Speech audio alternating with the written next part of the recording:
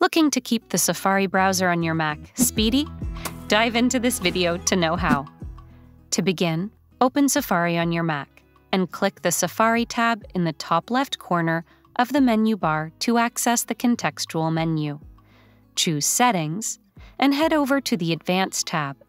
Check the box for Show Features for Web Developers. Voila!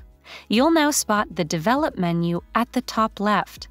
Click on Empty Caches to clear Safari's cache from your Mac. To clear up the cookies, click on the Safari tab at the top left corner and go to Settings. Then navigate to the Privacy tab and choose Manage Website Data. These websites have stored cookies from your browsing session. Opt for the Remove All option to clear out all cookies from Safari. Simply click Remove Now when prompted. Furthermore, you have the option to mark Block All Cookies under the Advanced tab.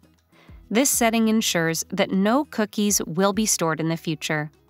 Are you feeling the speed boost after clearing cache and cookies on your Mac Safari?